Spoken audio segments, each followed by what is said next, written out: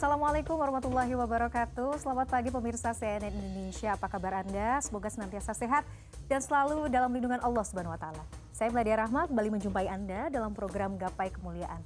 Seperti biasa tidak sendiri, sudah hadir bersama saya ada Ustadz Hilman Fauzi. Assalamualaikum Ustadz. Waalaikumsalam warahmatullahi Sehat ya Ustadz ya? Alhamdulillah sehat. Gak bosan ya Ustadz ya? Enggak dong. Baik pemirsa, hari Iya. ini kita akan membahas tema yang sangat menarik. Favorit saya Ustadz ini Iya. salah satunya adalah bagaimana tentang keajaiban sedekah di kehidupan Masya kita sehari-hari. Nah pemirsa bagi Anda yang memiliki pertanyaan, Anda bisa sampaikan melalui email yang tertera pada layar kaca Anda. Langsung saja Ustadz. Ustadz Iya. kalau kita bicara sedekah, banyak di antara kita yang sudah paham kita harus bersedekah karena merupakan salah satu amalan yang nilai pahalanya luar biasa. Betul. Tapi sebenarnya kalau kita bicara tentang definisi sedekah Iya. dalam Islam itu seperti apa Ustadz? Iya. Sedekah itu kan eh, diambil dari asal katanya itu sodako. Artinya sesuatu yang benar gitu ya. Maka kebenaran yang dilakukan itu namanya sedekah. Hmm. Salah satunya adalah satu kebaikan yang kita berikan kepada orang lain untuk mendapatkan ridhonya Allah. Itu sedekah. Jadi sedekah itu tidak terbatas pada harta, tidak terbatas pada materi, tapi semua kebaikan yang kita lakukan dan kita berikan kepada orang lain bisa bernilai sedekah. Dengan niatnya hanya mendapatkan ridhonya Allah Subhanahu wa taala. Senyum Sedekah. sedekah. Ya, saat kita eh, mohon maaf ada duri di tengah jalan, kita singkirkan, itu sedekah. Pahalanya pahala sedekah. Pahala ya, sedekah. Ustadz? Ada sampah yang berserakan, kita bersihkan, ya, kita tempatkan pada tempatnya, itu juga sedekah. Jadi setiap kebaikan yang kita berikan itu bisa bernilai sedekah asalkan niatnya untuk mendapatkan ridhonya Allah Subhanahu wa taala. Masya Allah. Ustadz, tapi biasanya begini, kadang-kadang kita hidup ini kan ada si kaya, ada si miskin. Kadang-kadang si miskin suka begini, begitu. Saya suka iri sama Ya. orang kaya, karena dengan hartanya yang berlimpah, dia bisa bersedekah. Mm-mm. Padahal sebenarnya kan bukan berarti si miskin tidak bisa mendapatkan pahala sedekah ya Ustadz Iya, ya. iya, iya. Bagaimana dengan konsep seperti ini Ustadz? Iya makanya eh, maha baiknya Allah ya. Sedekah itu tidak dibatasi pada urusan harta. Iya. Ada orang yang dilebihkan ilmunya, maka dia bisa bersedekah dengan ilmunya. Mengajar ya, menyampaikan kebaikan, nah, itu sedekah. Ada orang yang diberikan kelebihan pada tenaganya, maka dia bisa membantu orang lain dengan tenaganya. Itu juga sedekah. Ada orang yang diberikan dilebihkan hartanya, maka dia bersedekah dengan hartanya. Walaupun mungkin nanti ada ada istilahnya yang lebih khusus, namanya infak. Infak. Ya kan? Kalau infak itu sesuatu yang kita berikan yang sifatnya materi, sifatnya harta, sifatnya uang, itu namanya infak. Maka jangan pernah putus asa. Bagi kita yang boleh jadi nggak dilebihkan urusan hartanya, jangan jangan putus asa. Karena kita masih bisa mendapatkan pahala sedekah dengan apa pun yang Allah berikan dalam kehidupan kita. Harta yang paling kecil apa? Senyummu di wajah saudaramu itu sedekah. Tabassubuka fi wajhi akhika sedekah. Maka sedekahlah dengan apa pun yang bisa kita berikan kepada orang lain dan itu akan mendatangkan pahala yang baik untuk kita semua. Bahkan saya sempat mendengar sedekahlah dengan sebiji kurma. Ah, itu Masya juga Allah. hal yang kecil saja kita Kecil. bisa mendapatkan pahala Betul. sedekah ya Ustadz. ya? Dan kita harus yakin ya bahwa setiap sedekah sekecil apa pun jika diniatkan untuk Allah Subhanahu wa taala boleh jadi tadi tuh sebiji kurma tadi itulah yang menyelamatkan kita nanti hari di hari kiamat. Maka kalau bicara the power of sedekah tuh masya Allah ya nggak ada henti-hentinya kita akan bicarakan ini. Mhm, Kenapa Ustadz? Karena boleh jadi apa yang hari ini kita dapatkan dalam hidup salah satunya karena dipancing oleh sedekah kita. Ya. Maka ada filosofi hidup namanya terima kasih. Terima kasih. Apa itu artinya? Seberapa banyak yang ingin kita terima tergantung yang kita kasih. Ah, betul. Makin banyak yang kita kasih, makin banyak yang kita terima. Maka Nabi menyampaikan, mana kosot sodakotun min mal. Tidak akan pernah berkurang harta yang disedekahkan. Justru makin banyak yang kita keluarkan, makin banyak yang kita berikan, maka makin banyak yang bisa kita dapatkan. Maka wajar kalau sedekah itu melipat gandakan pahala kebaikan untuk kita. Jadi konsep sedekah dalam Islam itu justru memperbanyak Ya. harta, membersihkan juga ya Ustadz ya? Betul. Bukan malah mengurangi sebenarnya. Bukan. Maka konsepnya kalau ada eh, satu dikurang satu nih, kan jadi nol. Sebenarnya bukan jadi nol. Kalau kita lipat gandakan 10, berarti satu dikurang satu jadi 11 sebenarnya. Ah. Kalau yang menggunakan 10 kali lipat, belum lagi ada ayat yang menyebutkan 700 kali lipat. Dan setiap kali lipatnya ada tangkainya, ada batangnya, ada bijinya. Masya Allah, itu bisa melipat gandakan pahala kebaikan dalam kehidupan kita. Allah ya. Maka kalau kita dikasih kesempatan untuk bersedekah, bersedekahlah. Karena banyak orang yang sudah kembali kepada Allah. Mhm. Mereka minta dihidupkan kembali. Ah. Apa permintaannya? Fa'asodaqa wa akun minas solihin. Ya Allah, seandainya aku bisa hidup kembali, aku ingin bersodakoh dan aku ingin menjadi orang yang soleh. Pertanyaannya, kenapa yang dia minta sodakoh? Kenapa Ustaz? Jawabannya, karena ternyata sedekahlah yang melapangkan kuburnya. Sedekahlah yang menyinari cahaya kuburnya. Sedekahlah yang meringankan hisab kuburnya. Dan sedekahlah yang membuat dia mendapatkan kemuliaan di alam kuburnya. Masya Allah. Seandainya manusia tahu kekuatan sodakohnya, maka dia akan memilih hidupnya untuk menjadi orang yang ahli sodakoh. Ustadz, Ya. tapi ini kadang-kadang kita tuh suka dilema ya. kita misalnya punya uang gitu ya, kita irit-irit, tapi ada orang lain yang membutuhkan, rasanya kok berat sekali mengeluarkan gitu ya. Iya, iya. Sebenarnya kalau dalam kondisi seperti itu, apa yang seharusnya kita lakukan Ustadz? Kita yakin saja kita keluarkan. Iya, memang keyakinan kita itu menentukan seberapa kuat kita bersedekah. Ah, mhm. ya dan kalau mau mendapatkan pahala yang terbaik maka sedekahlah dengan yang terbaik Hmm. Allah subhanahu wa ta'ala sampaikan lan tanalul birra hatta tunfiqu mimma tuhibbun belum disebut kebaikan yang sempurna sampai orang itu memberikan yang terbaik jadi kalau kita dikasih kesempatan ya untuk memberikan yang terbaik maka berikan yang terbaik. Karena boleh jadi dengan apa yang kita berikan itu akan mendapatkan pahala juga yang terbaik. Sesuai lah ya. Apa yang kita keluarkan maka itu yang kita dapatkan. Oke. maka tinggal bicara yakinnya aja. Yakinnya yakinnya yakinnya. Yakinnya bukan ke orang tapi ke Allah, Allah. Kalau yakinnya ke Allah ketika kita bersedekah maka yakin juga di saat itu Allah akan berikan balasan kepada kita Jadi yakin ketika kita mengeluarkan, Allah Ya. akan ganti, Allah akan Betul. ganti, Allah akan ganti. dan yang bisa menguatkan itu salah satunya kita harus banyak ingat apa keutamaan sedekah Betul. nanti kita akan bahas Kita ya akan lebih bahas ya. detail gitu Oke, tapi Ustadz boleh nggak sih Iya. kadang-kadang tuh kita, kalau sekarang kan di era digital, Iya. era, era media sosial, banyak juga kita melihat selebgram gitu Iya. ya, yang ngasih sedekah secara terang-terangan, kasih ini kasih dengan nominal yang luar biasa gitu. Sebenarnya dalam Islam boleh ya, ter, secara terang-terangan memberikan sedekah Iya. kepada orang lain. sedekah itu boleh terang-terangan boleh sembunyi-sembunyi yang tidak boleh terang-terangan tidak sedekah Iya kan? Betul, itu lebih parah atau lagi. Ustadz, ya. sembunyi-sembunyi tidak sedekah. jadi mau terang-terangan tapi niatkan jadi motivasi bagi Oke, orang lain. oke. Boleh jadi ketika kita bersedekah kemudian ada orang yang termotivasi dengan apa yang kita hadirkan maka jadi apa ya? Jadi dakwah juga bagi mereka. Mhm. Tapi juga yang menyembunyikan sedekahnya juga bagus. Barangkali dia ingin melembutkan hati, khawatirnya ada ria, Mhm, khawatirnya tidak ikhlas. Jadi mau terang-terangan, mau sembunyi-sembunyi, dua-duanya baik. Baik. Yang tidak baik, terang-terangan tidak sedekah, atau sembunyi-sembunyi tidak sedekah. Gitu. Baik. Yang paling penting adalah bagaimana kita meluruskan niat ya, Ya. Ustadz. Sedekah ini untuk apa? Betul. Begitu ya, Ustadz. Betul, betul. Nanti kita akan bahas lebih lanjut Siap. Ustadz. Sama. Pemirsa jangan ke mana-mana. Kita akan masih membahas terkait bagaimana keajaiban sedekah ini tentunya sesaat lagi setelah jeda berikut.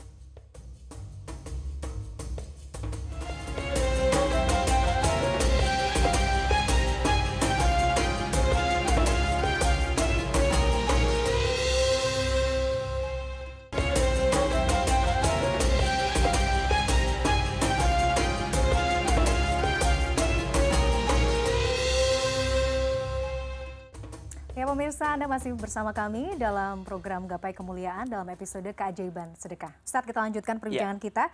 Tadi Ustadz sempat membahas bahwa keutamaan atau faedah dari sedekah itu Masya Allah, banyak sekali. Kita bisa elaborasi satu-satu ya Ustadz Boleh. ya, silakan. Kalau dibahas banyak banget. Tapi bolehlah kita eh, Rangkum ya. turun rangkum empat deh ya. Satu, sedekah itu melipat gandakan rezeki. Jadi jangan pernah berpikir saat kita bersedekah mengurangi rezeki. Justru sedekah itu akan menambah rezeki kita. Semakin banyak yang kita keluarkan, semakin ditambah apa yang kita dapatkan. Yang kedua, sedekah itu akan menghapuskan dosa. Mhm. Masya Allah. Nabi menyampaikan sedekah itu bisa menghapuskan kesalahan sebagaimana air memadamkan api. Masya Allah.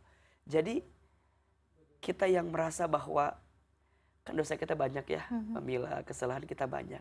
Nah salah satu untuk membuat dosa ini perlahan tapi pasti Allah hapuskan dalam diri kita amalan yang bisa kita persembahkan adalah sedekah. Sedekah. Yang ketiga sedekah juga bisa menjaga kita dari musibah. Mm-hmm. ya menyelamatkan kita dari sesuatu yang tidak baik untuk kita. Maka yakinkan di hati setiap kita sedekah akan banyak kebaikan-kebaikan yang Allah datangkan salah satunya Allah menjaga kita dari sesuatu yang tidak baik untuk kita. Mm-hmm. Dan yang keempat, sedekah itu mengundang pertolongan Allah Subhanahu wa taala. Nabi menyampaikan wallahu fi aunil abdi ma kanal abdu fi auni akhihi. Allah akan menolong hambanya ketika hambanya menolong saudaranya. Mm-hmm. Empat, sedekah melipat gandakan rezeki. Sedekah menghapuskan dosa. Sedekah menjaga kita dari musibah dan yang keempat, sedekah mengundang pertolongan Allah Subhanahu wa taala. Ya.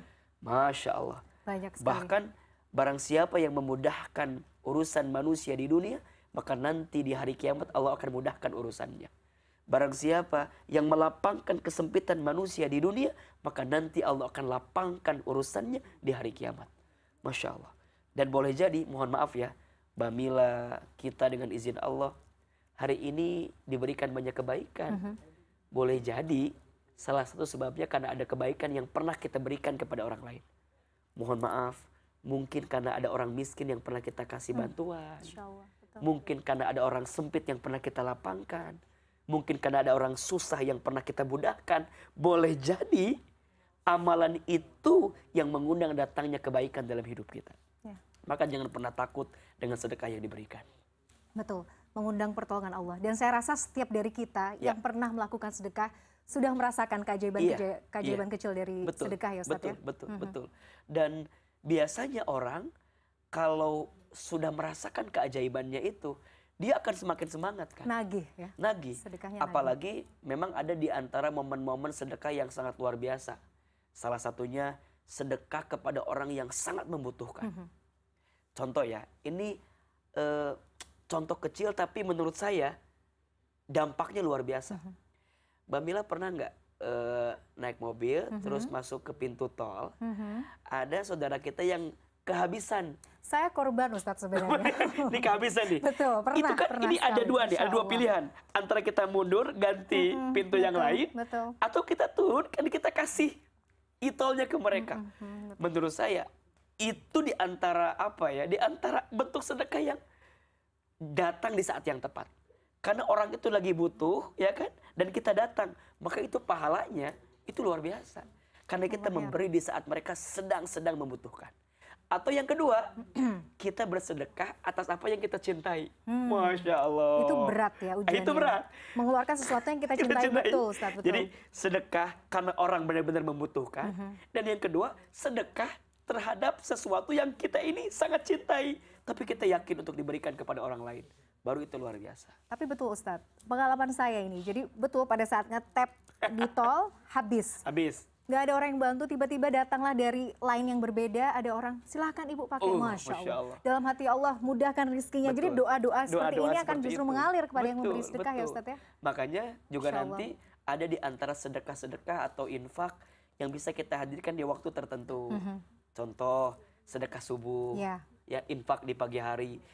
Sedekah subuh atau infak di pagi hari itu mengundang doa malaikat. Oh, okay. Nabi Shallallahu Alaihi Wasallam bersabda, "Ma min yaumin tusbihul ibadu illa malakan yanzilani."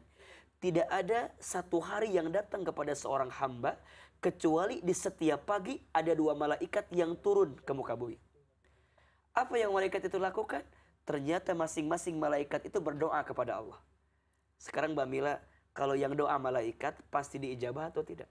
Sudah pasti. Sudah pasti. Apa doa malaikat itu Ustaz? Malaikat yang pertama apa doanya? Allahumma a'ti munfiqan khalafa. Ya Allah, berikanlah kepada orang yang berinfak apa? Ganti yang lebih baik dari hmm. apa yang dia hmm. infakkan. Dan malaikat yang kedua berdoa. Apa doanya?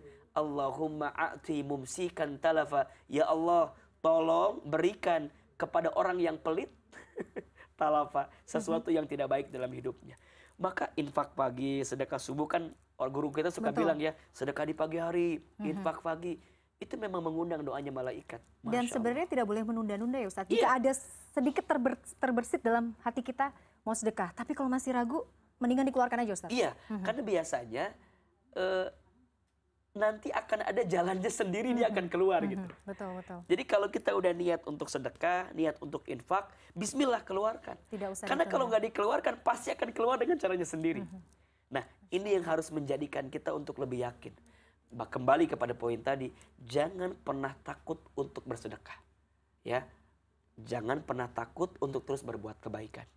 Walaupun kadang-kadang kebaikan kita nggak dihargai oleh orang ya. lain.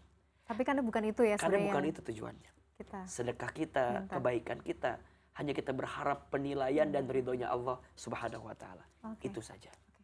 Ustadz, ya. tapi misalnya kita bersedekah karena kita punya nadar ya. atau kita bersedekah ya Allah semoga Engkau mudahkan urusan kami, hamba pengen ini A, B, C, sebenarnya boleh ya Ustadz? Boleh. Itu. Uh-huh. itu kan disebut dengan bertawasul dengan amal soleh kita uh-huh. ya. Uh-huh. kita menjadikan perantara sedekah kita untuk mendapatkan sesuatu yang kita inginkan. Boleh.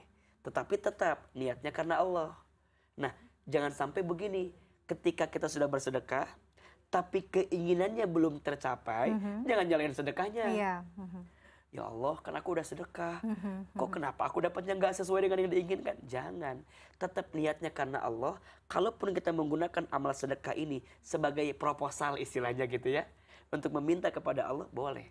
Tapi kembali lagi, apa yang Allah berikan itu hak prerogatifnya Allah uh-huh. Subhanahu wa taala. Uh-huh. Jadi poinnya Pak Ustadz bahwa sedekah itu akan justru memudahkan, memudahkan banyak urusan kita. Memudahkan. Maka setiap kebaikan itu pasti mendatangkan kebaikan. Kan pernah dengar nggak kisah uh, tiga orang pemuda yang uh-huh. pernah uh, apa namanya ya, yang pernah terkurung di sebuah gua. gua. Karena yeah. mereka sedang tertidur, tiba-tiba ada batu besar sampai nutup pintu, uh-huh. pintu, pintu gua. gua tersebut. Dan semua masing-masing tuh mengatakan kalimat, kita nggak bisa keluar dari gua ini kecuali Allah yang menolong kita. Ya, ya. Maka mereka bilang, sekarang gimana caranya kita minta pertolongan kepada Allah sambil kita mengucapkan amalan apa yang pernah kita mhm, lakukan mm -hmm. sehingga bisa merayu Allah dan membuka pintu gua ini. Mm -hmm. Maka masing-masing kan cerita kan, minta yang pertama, ya Allah, aku punya orang tua, dan aku ini selama ini terus berbuat baik kepada orang tua. Aku punya kebiasaan setiap malam memberikan susu kepada orang tuaku. Sampai satu saat aku pernah pergi ke sebuah daerah mencari kayu bakar, aku pulang kemalaman. Ketika aku menghadap orang tuaku, orang tuaku sudah tidur. Maka apa yang aku lakukan? Aku menunggu orang tuaku bangun sampai pagi sambil sambil aku memegang susu bagi ayah ibuku. Kata orang ini, kalau seandainya amalan ini bisa membuka pintu gua ini ya Allah. Aku mohon ya Allah bukakanlah pintu gua ini. Maka batu itu terangkat pelan-pelan satu. Orang yang kedua, ya Allah, aku pernah mencintai seseorang wanita dan dia menolak aku. Tapi satu saat dia datang lagi kepadaku minjem uang. Mhm. Maka aku berikan, tapi aku berikan syarat kepadanya. Apa? Aku akan berikan uang ini asalkan kau tidur denganku. Tapi apa yang terjadi? Ketika perempuan itu sudah di depan mataku, aku pergi meninggalkannya. Kenapa? Karena aku takut berzina dengan dirinya. Ya Allah, kalau amalan ini adalah amalan terbaik dari diriku, maka angkatlah batu ini sehingga pintu gua ini terbuka. Maka terangkatlah batu itu. Sampai ada orang terakhir. Ya Allah, aku pernah mempekerjakan banyak orang. Semua orang telah aku bayarkan gajinya. Tapi ada satu orang yang belum aku bayarkan gajinya malah gajinya itu aku gunakan untuk modal usahaku. Okay. Singkat cerita, orang itu datang ke tempat kita nagih gaji itu. Mm -hmm. Dan apa yang terjadi dari uang gaji yang ditunda tadi sekarang sudah jadi peternakan, sudah oh. jadi perusahaan. Maka orang ini bilang, ambil saja semuanya karena ini hasil daripada gajimu yang belum aku berikan kepadamu. Sampai dia minta, ya Allah, kalau amalan ini bisa mengangkat batu ini, maka angkatlah. Apa yang terjadi? Terangkatlah batu, itu the power of sedekah, the power of amal soleh maka jangan pernah menyepelekan sekecil apa pun kebaikan yang kita berikan. Masya Allah, luar biasa keajaiban sedekah. Pemirsa, kita masih akan bahas lebih ya. jauh tentang keajaiban sedekah. Nanti kita akan dengarkan juga bagaimana kesimpulan dari Ustadz Hilman Fauzi, ya. tapi jangan ke mana-mana. Gapai kemuliaan akan kembali sesaat lagi.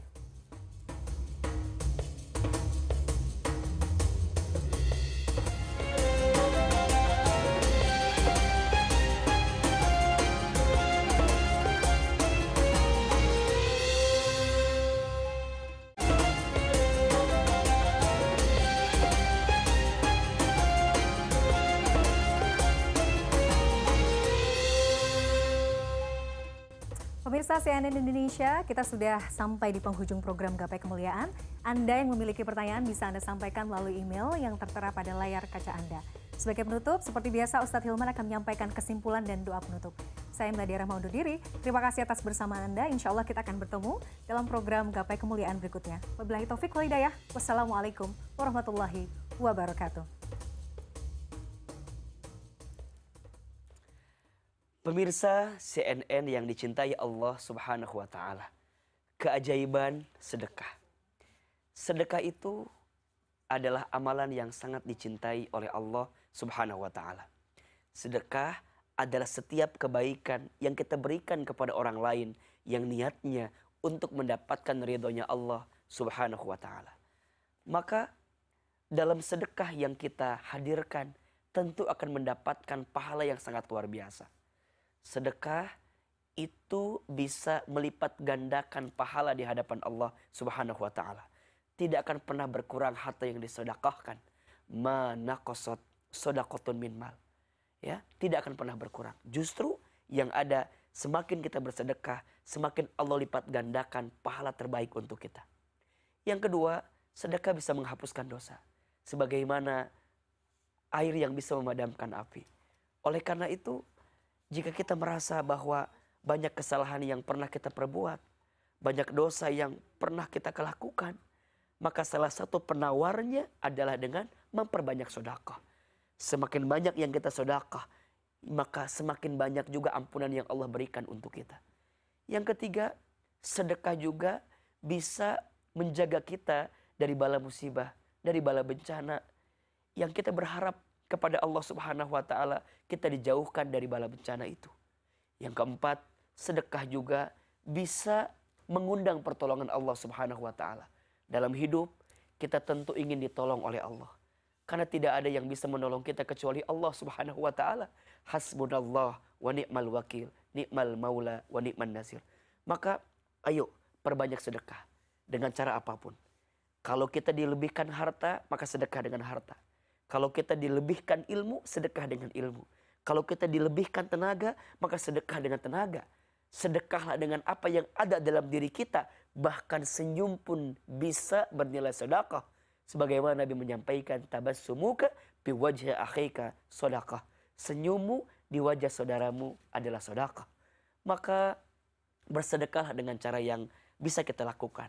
Sekarang alhamdulillah ada sedekah online ya kita bisa salurkan sedekah kita kepada platform yang lebih mudah untuk bisa kita salurkan. Sedekah kepada mereka yang membutuhkan, sedekah kepada mereka yang sangat mengharapkan bantuan dari kita, maka silakan hadirkan kebaikan itu. Dan mulai hari ini juga kita pastikan, lihat sekeliling kita, lihat orang-orang yang bersama dengan kita. Boleh jadi ada orang-orang terdekat dalam kehidupan kita yang kita lupakan. Padahal Allah lebihkan banyak kebaikan dalam hidup kita. Percayalah, setiap kebaikan sedekah yang kita hadirkan, di situlah kita akan mendapatkan balasan pahala kebaikan dari Allah Subhanahu wa Ta'ala. Oleh karena itu, jadikan sedekah sebagai kebiasaan, jadikan sedekah sebagai kebutuhan, bukan hanya sekedar tuntutan agar kita tidak terpaksa untuk mengeluarkan itu. Kita harus membiasakan sedekah menjadi lifestyle kita. Kita harus menjadikan sedekah sebagai bentuk kebutuhan kita yang butuh sedekah itu bukan hanya orang yang menerima sedekah, tapi justru kita yang mengeluarkan sedekah. Karena di situlah amalan terbaik yang bisa kita dapatkan pahalanya. Banyak orang yang telah wafat minta dihidupkan kembali. Apa permintaannya? Ternyata mereka meminta untuk bisa bersedekah dan menjadi orang yang soleh. Semoga Allah lembutkan hati kita menjadi pribadi yang gemar bersedekah, yang gemar memberikan kebaikan kepada orang lain. Mari angkat kedua telapak tangan. Kita berdoa kepada Allah, semoga Allah lembutkan hati kita dan Allah berikan kekuatan kita untuk menjadi ahli sedekah. A'udzubillahi minasyaitonirrajim. Bismillahirrahmanirrahim. Alhamdulillahirabbil alamin. Allahumma salli ala sayyidina Muhammadin wa ala alihi wa ashabihi ajmain. Allahumma inna nas'aluka ilman nafi'an wa rizqan halalan thayyiban wa amalan mutaqabbala. Duhai Allah yang maha pengasih lagi maha penyayang. Lembutkan hati kami ya Allah untuk menjadi ahli sedekah. Tenangkan perasaan kami ya Allah untuk senantiasa memberi dan berbagi kepada orang yang membutuhkan. Ya Allah, hanya Engkau yang memberikan rezeki kepada kami. Dan hanya Engkau juga yang memberikan kekuatan kepada kami untuk menjadi pribadi yang makin baik dalam kehidupan ini. Ya Allah, jadikan sedekah kami adalah sedekah yang meringankan hisab kami. Sedekah yang melapangkan alam kubur kami. Sedekah yang mengantarkan kebaikan dalam hidup kami. Rabbana taqabbal minna. Innaka antas samiul alim. Wa alaina innaka antat tawwabur rahim. Rabbana atina fid dunya hasanah wa fil akhirati hasanah wa qina adzabannar. Subhana rabbika rabbil izzati amma yasifun wassalamun alal mursalin. Walhamdulillahi rabbil alamin. Amin ya rabbal alamin pemirsa CNN Indonesia yang dicintai Allah yuk bersedekah perbanyak sedekah insya Allah kita akan mendapatkan kebahagiaan dalam hidup saya Hilman Fauzi undur diri mohon maaf lahir dan batin Wabillahi taufiq wal hidayah. Wassalamualaikum warahmatullahi wabarakatuh.